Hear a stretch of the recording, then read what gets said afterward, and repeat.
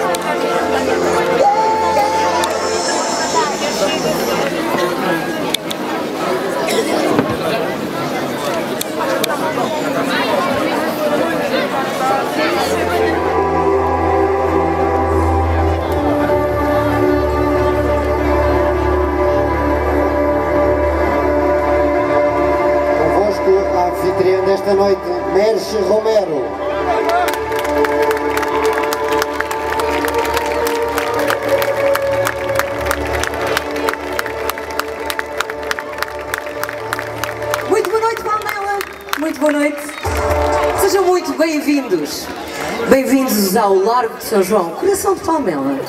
Este coração está quente? Como é que está esta noite? Esta noite está muito quente. Temos uma noite, podemos dizer, abençoada. Temos ou não?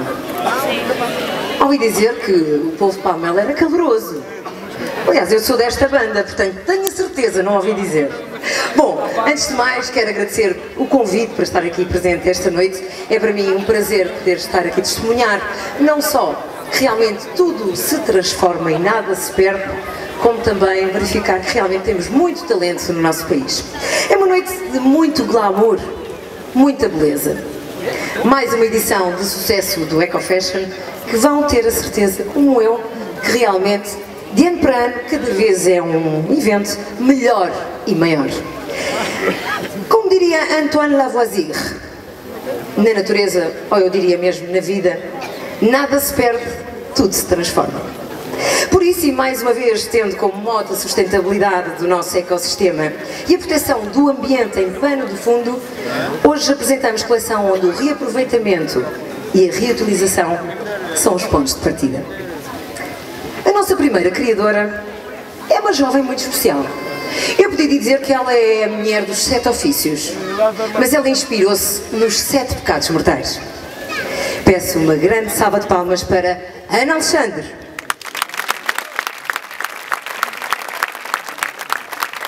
Olá, Ana.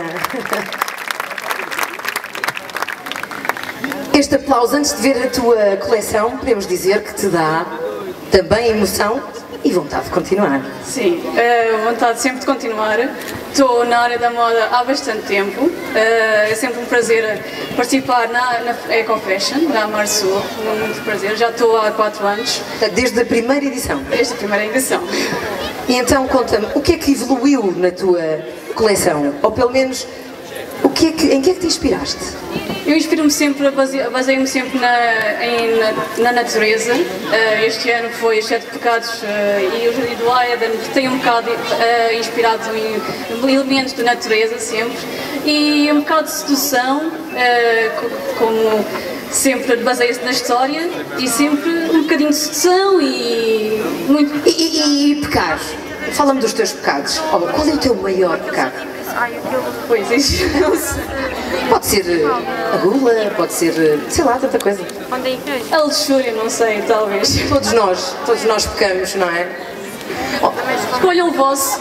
É bom escolher agora e escolham qual é o vosso pecado. Olha, mas tu utilizaste realmente materi- materiais difíceis de, de, de confeccionar. Eu falaria de redes de pesca, plástico, revistas, jornais, esferovite, esponjas, embalagens, guloseimas e embalagens de guloseimas, perdão, e papel de alumínio, entre outros materiais que serviram de base e deram corpo e inspiração para os coordenados que vamos ter a oportunidade de ver. Realmente é difícil trabalhar com estes materiais? Todos os anos eh, trabalho com materiais diferentes. eh, que tento criar sempre materiais diferentes. Este ano escolhi a rede de pesca, não queria inovar um bocadinho e foi bom. Foi uma experiência boa. Olha, ah, enquanto começa o desfile, não me queres fazer aqui uma massagem? É porque ela é mulher mesmo dos sete ofícios. Isto porquê? Oh Ana, conta-me lá. Eu sou estilista ah, desde 2008, sou produtora de moda e também massagista. Uma salva de palmas para esta jovem que quer mesmo é trabalhar. E acima de tudo, acredita que o sonho que manda a vida é não é? Temos que ter uma funções, tem que ser. Temos que parar, parar é morrer, então. E o tempo voa. Vamos Ana, queremos ver a tua coleção. Até já!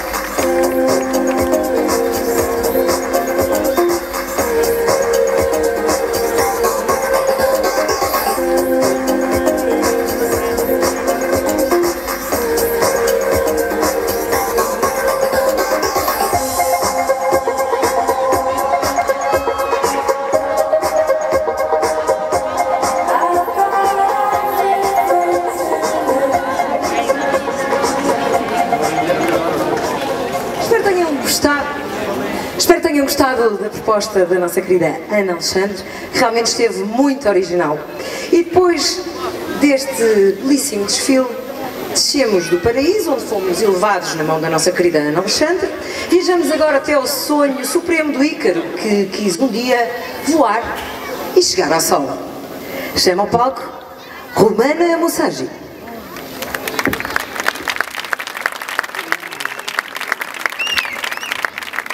Boa noite! Como estás, meu amor? Tudo bem. Disposta? Sim. Conta-nos lá, como é que é querer tocar o sol?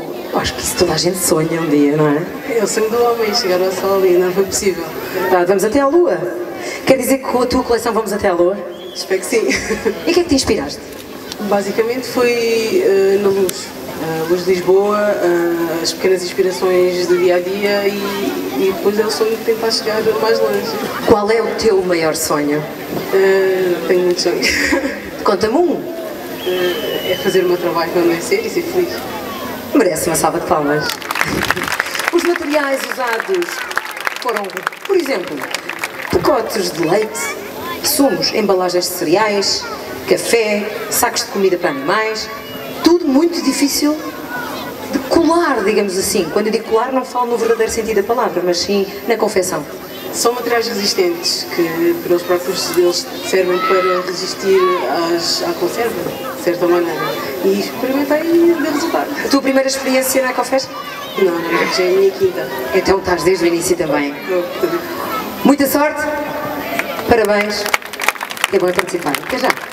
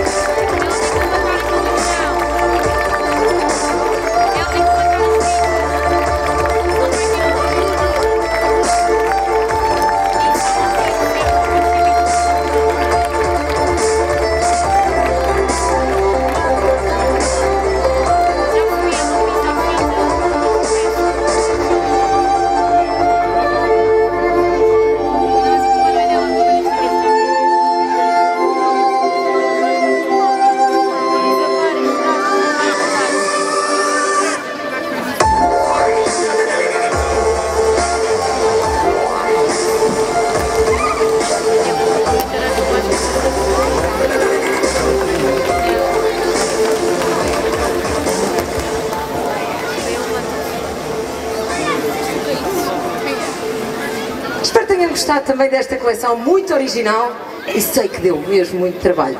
Antes de mais, queria pedir um aplauso também para a nossa manequim Lúcia. Que estes imprevistos acontecem, mas com muita beleza. Eu sei o que é. Já fiz muitos desfiles que tive que sair, olha, sem saltos, já me aconteceu tanta coisa. Bom, continuando o nosso desfile, passamos à próxima criadora. O próximo conjunto de coordenados leva-nos numa outra viagem. Esta viagem é até ao Mar Negro. Chamo Angela Melnick. Oh lá lá! Não sei se a Angela é criadora ou é manequim. Olá, Angela. Estás boa? Olá, boa noite. Boa noite a todos. Eu acho que toda a gente ouviu lá embaixo. O que é que tu achas? Acho que sim. Angela, Mar Negro. O porquê do Mar Negro? Porque será? Porque sou de lá. Mas as pessoas não sabem, ficaram a saber agora. Né? Sim, também de Mar Negro, porque lembrei de, da minha terra e sou perto de Mar Negro, para isto pus Mar Negra. E fizeste muito bem. Qual foi a maior dificuldade que tiveste nesta, na criação desta coleção? Não, não tive muita dificuldade, porque eu tenho, tenho muito prazer para fazer estes fatos, assim que não... Mas os materiais utilizados também são fáceis? Sim, por isto eu escolhi o papel porque consigo me inspirar mais, transmitir as minhas ideias, a minha uh, criatividade no papel. Um aplauso para Angela Melnick.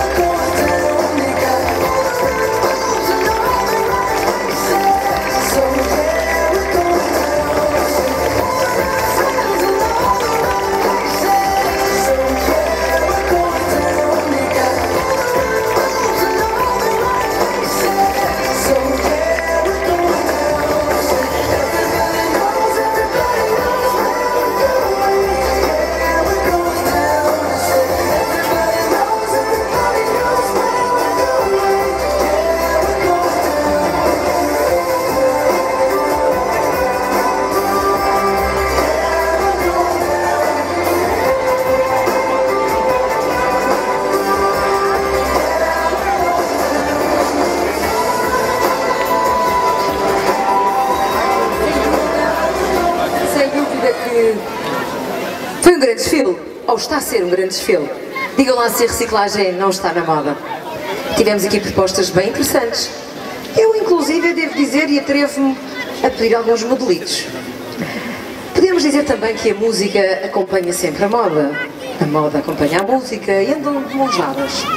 Inspira também as criações que tivemos aqui, mas também tem um lugar muito especial neste evento, até porque a artista que aqui se apresenta esta noite é dona de todo um universo muito próprio.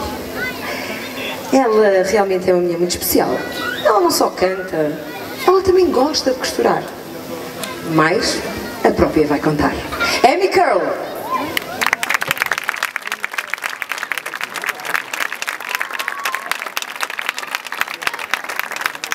Olá, Amy. Estás boa? Eu tive a oportunidade de conhecer lá atrás e nos ensaios de apreciar a tua música. E a tua música é diferente. O nosso público já está preparado para receber a tua música? Eu acho que sim, acho que sempre esteve, não sei. Tens 23 anos, uma jovem que tem uma vida pela frente, de sucesso, para se dizer assim. A tua sonoridade está também de mãos dadas com este evento. Ah, está porque, de algum modo, ah, o que eu me inspiro e onde eu me inspiro é na natureza e nas formas orgânicas e em tudo aquilo que é belo, vem da natureza sempre. Portanto, de alguma maneira está interligado. sim. E vocês sabem que ela é que costurou o vestido dela? Ela que fez o. Eu- acho que ela é uma das criadoras, afinal está tudo trocado. Vais cantar ou vais desfilar ou. Hã?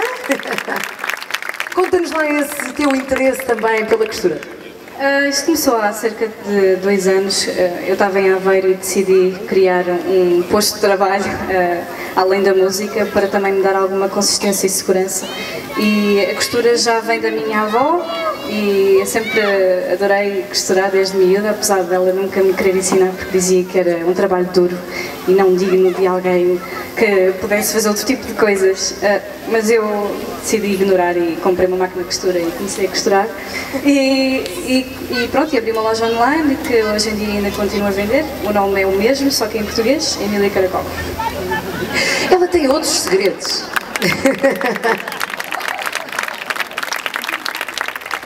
Transmontana de gema, não é? Diz-me lá, sabes cozinhar? Sei. Qual é o petisco lá daquela zona? O teu preferido, claro. Eu gosto muito de fazer eh, a sorda, Quem diria, não é? mas é uma sorda especial que. Leite. eh, não, Ecológico. Não, há dois tipos de sorda, que é a sorda lentejana e a sorda transmontana. E é diferente, porque eu gosto mais de fazer. tem mais pão. Nenhuma é leve, não é? Mas que sabe bem, sabe. Sim, adoro todo tipo de enchidos e pronto, está-me no sangue gostar desse tipo de comida e adoro cozinhar, é verdade. Olha, ah, outra curiosidade é que a música na tua vida ou em tua casa também não é novidade. Não, eu cresci a ouvir música, os meus pais também compõem e a minha mãe canta e toca guitarra, o meu pai tocava baixo, tinha os dois uma banda em português. E sim, sempre foi uma coisa natural, sempre tive guitarras em casa, não foi nada que me impingiram fazer, foi uma coisa muito, eh, um processo muito natural, que descobri que mais tarde que, que gostava de música e que queria seguir música. Portanto, vieste para ficar. Agora sim, os nossos ouvidos vão também, aliás, nós vamos continuar a viajar. E para onde nos levas? Ah, vamos passar primeiro por uma versão da Emilia Torrini, a Sunny Road, depois pela Like the Rain, uma original minha ah, há cerca de 5 anos, que tem cerca de 5 anos. Ah, depois vamos passar pela Love Song, que é uma tentativa, foi uma tentativa de fazer música jazz, e depois na segunda parte eu digo mais. Ok, na segunda parte nós vamos voltar a conversar. Até porque eu ainda tenho mais curiosidades. O porquê de cantares em inglês? Sabes que esta pergunta tenho que a fazer porque nós temos de defender o que é nacional. E tu és nacional, ou seja, és portuguesa. E queria saber se é porque vais além de fronteiras, se é porque ambicionas chegar ah, aos quatro cantos do mundo, ou porque tem uma sonoridade realmente diferente. Por vezes eu acho que as pessoas confundem o, ah, de sermos patriotas com também perceberem que a sonoridade do- da música cantada em inglês realmente entra no nosso ouvido de outra forma. Sim, assim, eu, eu comecei a cantar em inglês porque era a forma que eu mais gostava de me expressar. Eu acho que qualquer língua é boa para se expressar. O inglês é, de facto, mais universal, é mais fácil de transmitir a outras pessoas que estão lá fora, porque não são só portugueses que me ouvem. Mas é engraçado que me diz isso porque na segunda parte eu vou ter duas músicas em português. Eu sabia! Isto foi uma rasteira para mim. Olha, eu acho que estamos preparados, certo? Estamos preparados? Vamos a isto. Emília Caracol, Amy Curl, em Palmela. Até já!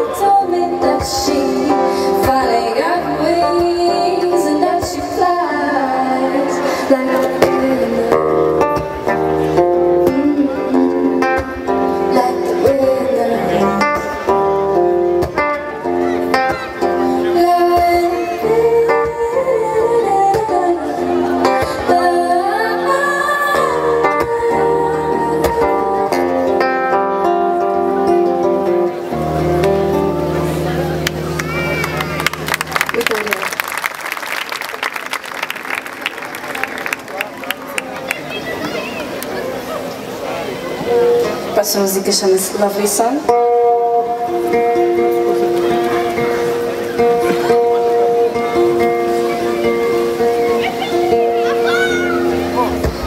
E foi a minha primeira tentativa de fazer jazz music.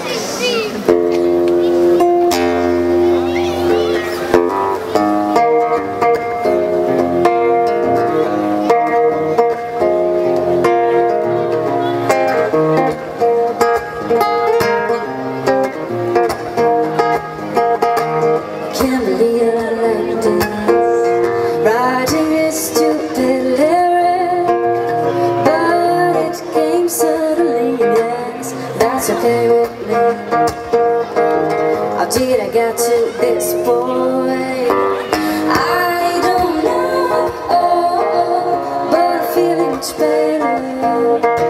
Now I keep singing this song.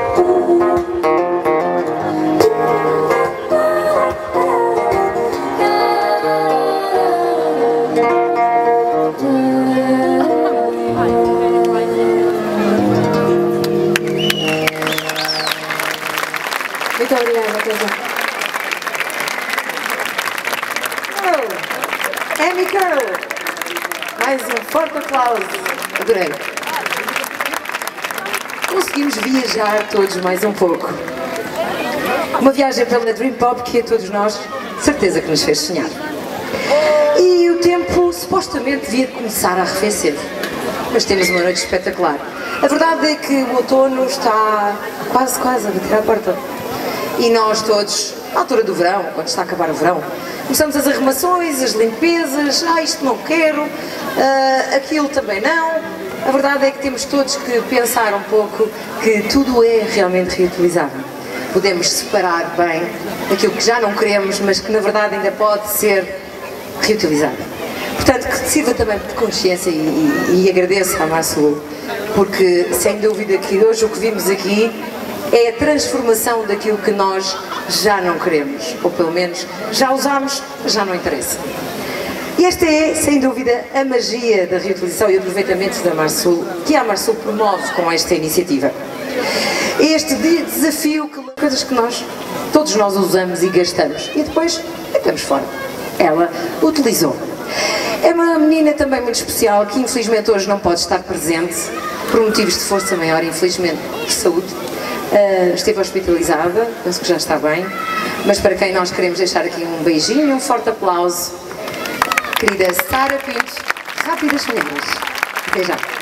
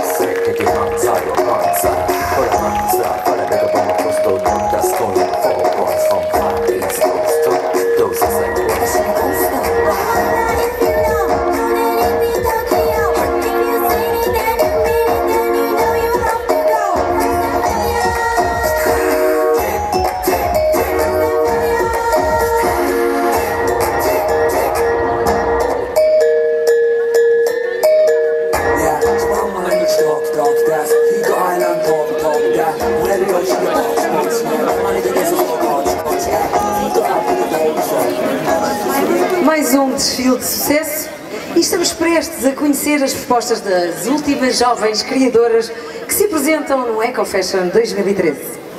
Milene Santos, a nossa próxima criadora, vai-nos contar em que é que se inspirou e qual é o tema. Milene Santos. Olá, estás bom? Não digas que estás nervosa. Um bocadinho ansiosa. Faz parte, não é? Eu acho que quando fazemos as coisas com gosto tem que haver sempre um nervoso miudinho. Agora, também deu muito trabalhinho, tudo aquilo que nós vamos ver hoje. Bastante. Em que é que te inspiraste? Ah, Inspirei-me na evolução do homem enquanto espécie e também enquanto idade pessoal. E o tema é? O tema é Human Being. Que, eh, para quem não sabe em que é que realmente te inspiraste, aconselhavas a vestir qualquer pecinha? Ah, se quiser. Sabes porquê é que eu estou a dizer isto? Porque eu vestia, eu vi ali umas peças, temos que conversar nas duas. Qual é o teu maior sonho? Ah, criar. Então está realizado. Jovem criadora, Milene Santos.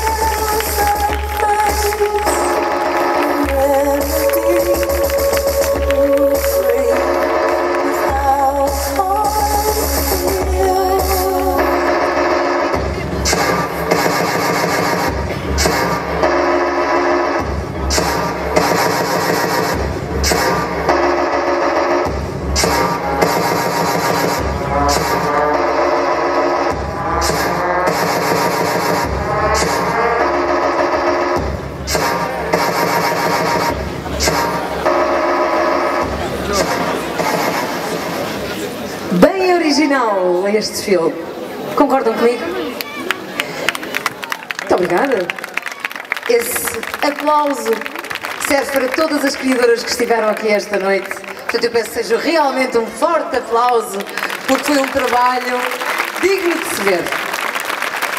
E devo dizer que este particularmente me despertou alguma curiosidade, porque como puderam ver, havia fatos que tinham muitas penas. E pergunto eu, à nossa jovem criadora, onde é que foste buscar estas penas? E dizem, às galinhas. Eu às galinhas? Sim, às galinhas do campo. E não fiz mal às galinhas, porque elas também servem para comer. Mas tive o cuidado de lavar as penas todas. Agora imaginem o trabalho que isto não deu. Portanto, este aplauso foi um aplauso até pequenino para aquilo que elas fizeram. Foi um grande trabalho. Bom, voltando agora também ao nosso evento, continuamos com o espetáculo. E quando eu digo um espetáculo, é porque ela realmente é um espetáculo. Chamo a este palco, que é o Lar de São João, Amy Curl.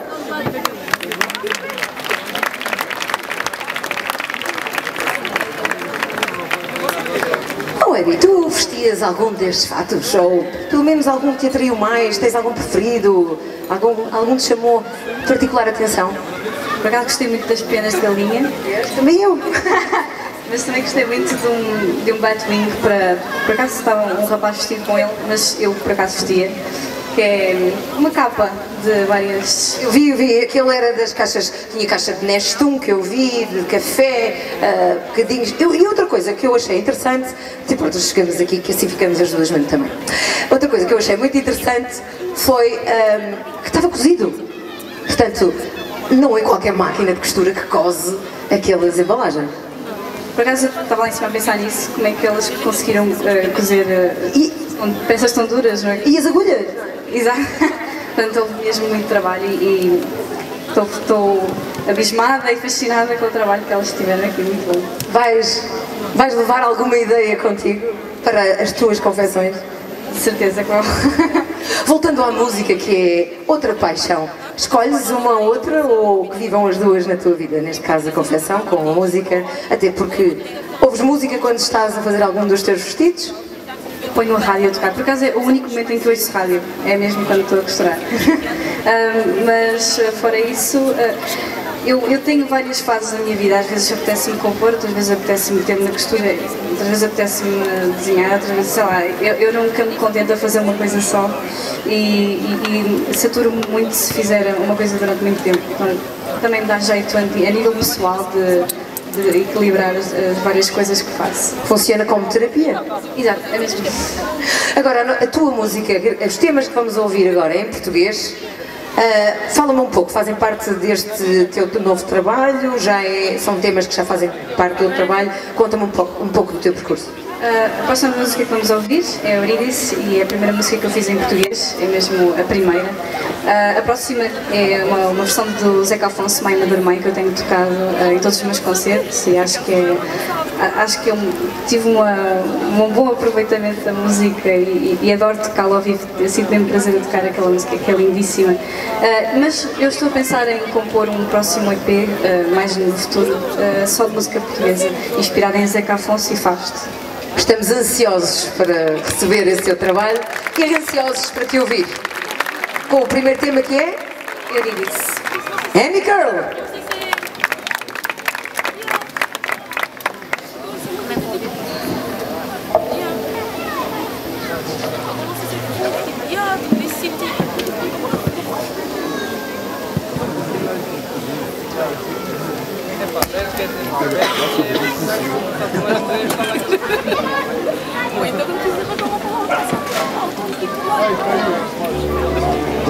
Eu pensei que eu conseguia contar.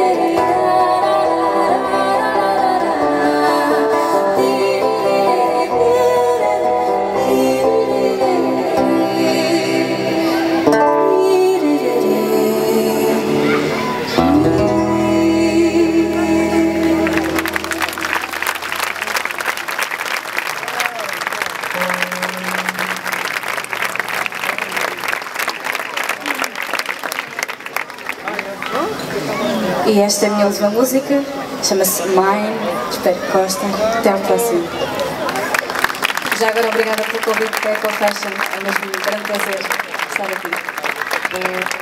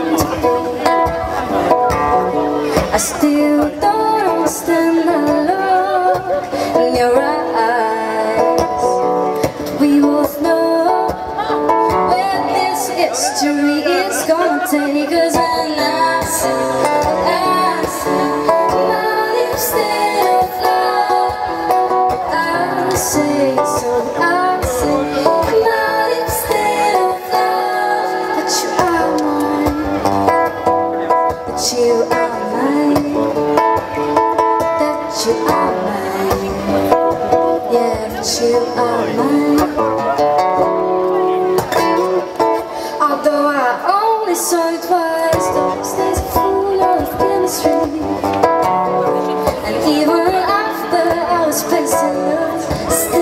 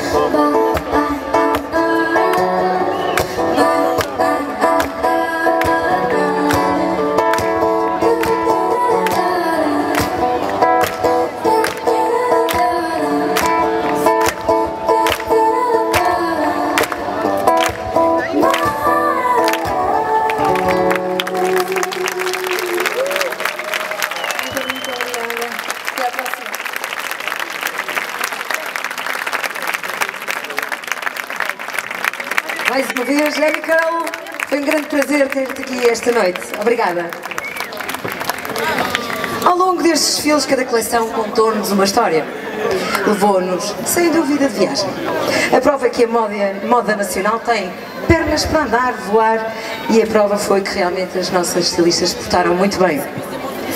Para fechar este desfile de beleza e moda em que os materiais reciclados e recicláveis são os heróis principais, escolhemos uma dupla que já realmente é muito conceituada, eh, conquistaram o território pouco a pouco, iniciaram-se em 2003, lá vão 10 anos, lembro-me bem. São uma dupla de sucesso e também trazem materiais diferentes, participaram, dão a cara também pela Mar Sul. Esta noite no Eco Fashion temos o prazer de apresentar uma coleção designada Trash Allure by Storytellers. Papel, páginas de revistas, folhetos de publicidade, jornais, são diariamente deitados fora. Fundem sob o olhar reconstrutivo e lúdico com peças de roupa de várias estações, em volumes e texturas de todos os tempos, com apontamentos de pedaços de embalagens variadas. Uma vez mais, João Branco e Luís Sanches contam-nos, através de coordenadas, as histórias de cada um. E porque também elas engrandecem e fazem parte da história da moda e beleza nacional, os coordenados Storytellers vestem quatro das mulheres mais bonitas de Portugal em anos diferentes. Elas foram coroadas, hoje pisam a passarela com distinção e conhecimento de causa. Senhoras e senhores, agora sim, um forte aplauso para Storytellers.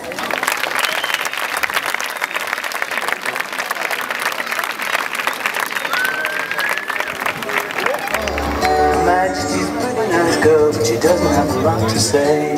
My Majesty's a pretty nice girl, but she changes from day to day. I wanna tell her that I love her a lot, but I gotta got a belly full of wine. Mad, she's a pretty nice girl, so I wanna make her mine. Someday I wanna make her mine.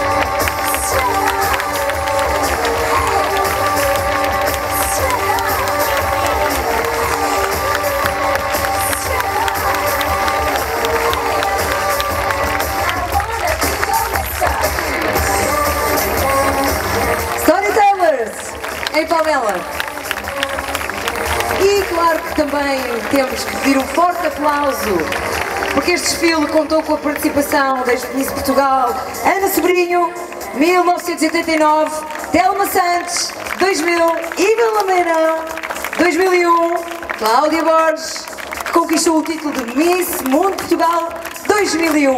Forte aplauso. Estamos mesmo na reta final. Mais um extraordinário evento realizado aqui no Largo de São João em Palmela. Parabéns. Sem dúvida que foi uma grande organização. Devo dizer que foi, saiu tudo muito bem. Claro que não podemos ir embora sem ouvir palavras de quem realmente é o mentor deste projeto. Quero também agradecer à Câmara Municipal de Palmela por todo o apoio prestado e também à Sociedade Filarmónica Humanitária e à Luz ao Verde de Jardinagem. Peço agora que subam ao palco doutora Cristina Saraiva, em representação da Amarsul, e a Presidente da Câmara, Ana Teresa Vicente.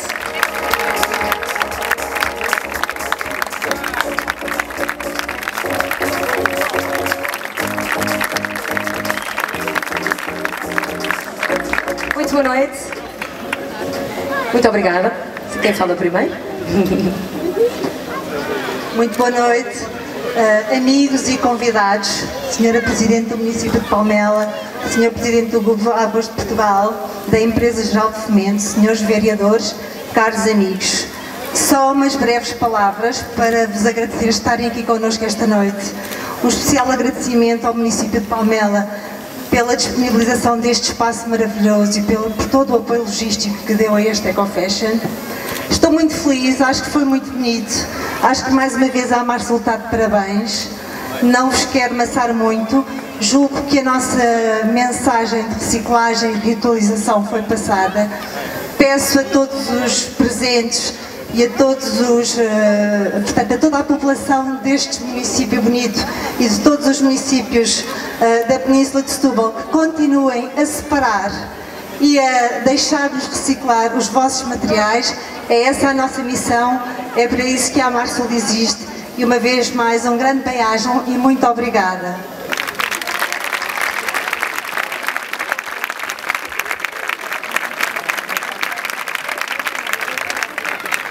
Boa noite a todos. Uh, duas palavras. Primeiro para felicitar esta, este exemplo de criadores jovens que aqui temos, que são de facto extraordinários e mostram como a criatividade não tem limites. E depois, talvez o mais importante, agradecer à Marsul o facto de ter escolhido Palmela para esta sua edição do Eco Fashion. Nós achamos que, é verdade, Palmela é uma terra muito bonita, mas é evidente que ficou mais bonita com este desfile e hum, nós ficamos todos mais disponíveis e com mais vontade de divulgar e valorizar esse processo que é o da reciclagem, da separação, etc. Muito obrigada pela iniciativa, parabéns. Eu é que agradeço, muito obrigada, faça favor. Não vou alongar muito mais, quero também agradecer à equipa de Ana Francisca Produções, responsável pelos desfiles desta noite. Foi a equipa liderada pela ex-Miss Portugal Ana Francisca Sobrinho que produziu este evento e que uma vez mais primou pela beleza e pelo bom gosto. Muito obrigada a todos que se deslocaram até nós esta noite para assistir a este evento. Eu costumo dizer, já não preciso disto. Não, eu vou apanhar. Claro que sim. Eu quero agradecer o convite, foi um prazer. Também tenho saudades deste mimo, deste calor e também da comunicação. É através da comunicação que passamos a mensagem, espero tê-la feito da melhor forma. É sem dúvida através da comunicação que nós dizemos aos outros como devemos fazer a separação, que condições temos e temos que melhorar também essas condições para que em casa e não só na rua possamos fazer essa separação. O exemplo aqui na Margem Sul é evidente. Espero que depois nos outros locais também. Sou feliz na Margem Sul. Muito obrigada e boa noite. Até à próxima. Obrigada, Palmela.